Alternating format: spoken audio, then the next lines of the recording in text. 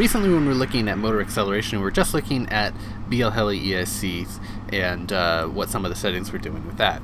Now KISS ESCs have different hardware and they handle things very differently, like uh, they have a, a, different method of dealing with timing uh, and they have built-in current limits. So I was curious to throw a KISS ESC side to side with the same BLHeli S uh, ESC in the same test program that we ran on the previous one and just see how different the results are. I kept this test with the exact same motor. It's an RCX 1407 3800 kV on uh, 3S. Here is the amp chart for the whole thing. This was an, an unloaded test again. And the ESC had some trouble uh, keeping sync with that, so I imagine that would clean up a lot with a prop on that.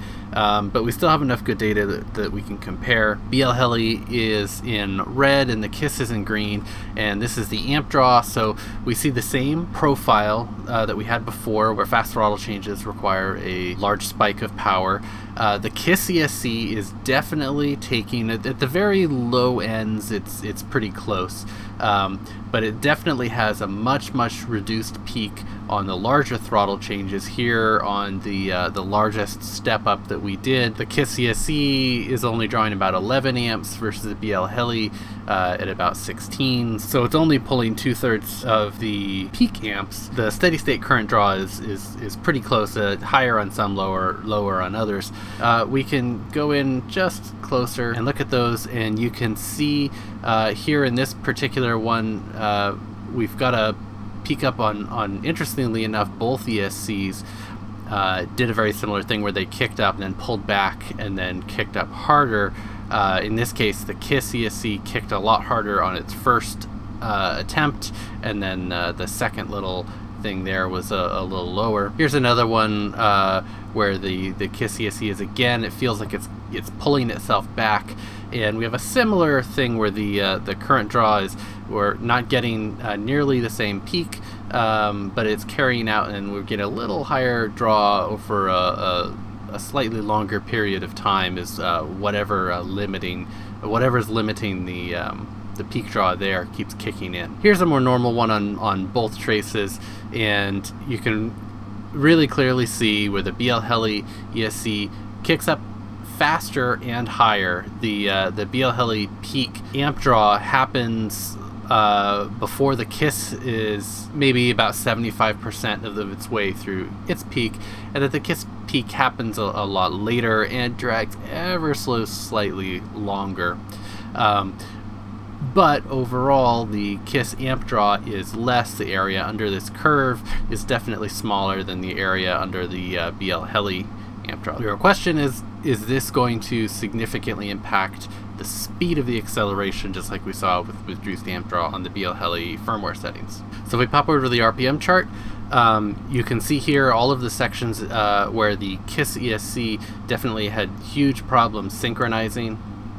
Uh, the RPM is jumping all over the place and it's definitely not a happy camper. Also very interesting, uh, these this ran the exact same D-Shot program on both ESCs, but the BLHeli ESC idled at a lower RPM than the KISS did. The same uh, throttle command. About mid throttle, uh, the speeds are about the same, and then at full throttle, uh, they also caught up again. But you can see the BLHeli ESC is running marginally faster on the uh, top half of the uh, the RPM band. The other interesting thing, if we dive in here, I thought that you can definitely see the BLHeli ESC doesn't seem to control the RPM as cleanly as the KISS ESC does. We see this on a lot of these steps where the BLHeli ESC, uh, the RPM uh, graph is wavering around quite a bit more and the KISS is a lot smoother.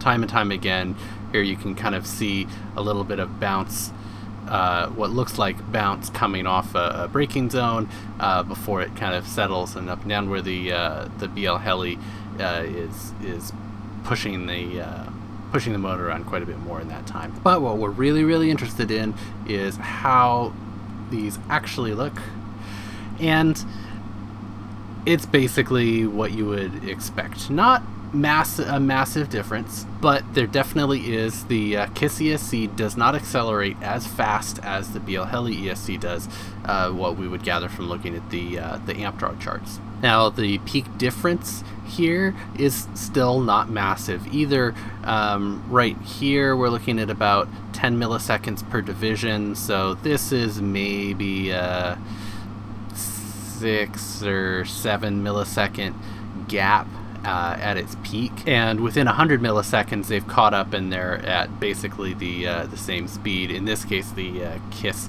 as we're going up to the top, the KISS is ever so slightly higher RPM, uh, so it crosses over. We see that same thing on uh, basically, and when we look at here's an instance where the uh, here's the the KISS ESC was hitting that limiter, and you can see we ramp up and ramp up, and it's going fast, and then it pulls back, and then it goes fast again, and it pulls back. In the smaller throttle changes where we didn't see a very big difference in amp draw, actually the performance is very similar. This is one of the uh, the smallest uh, steps in a, about a mid throttle range, and they basically track just about the same throughout the entire um, the entire entire throttle move there. Ever so slightly, you can see uh, the the Kiss trace just behind the BLHeli one.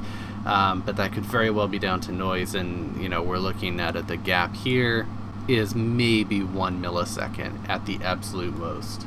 But of course we don't want to forget that acceleration and how the the acceleration timing is only half of that equation.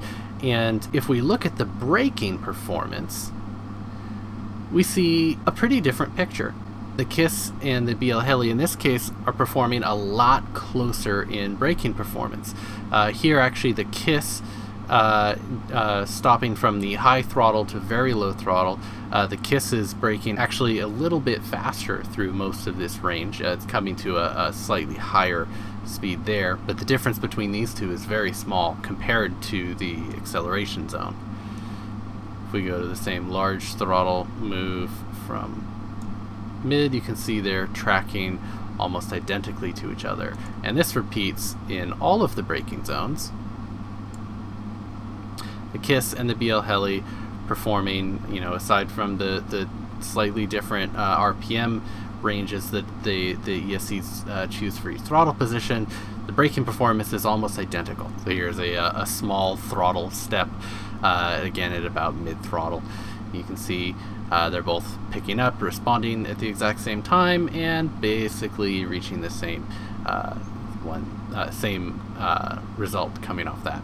And if we go over to the acceleration speed graph, so this is this shows the peak acceleration.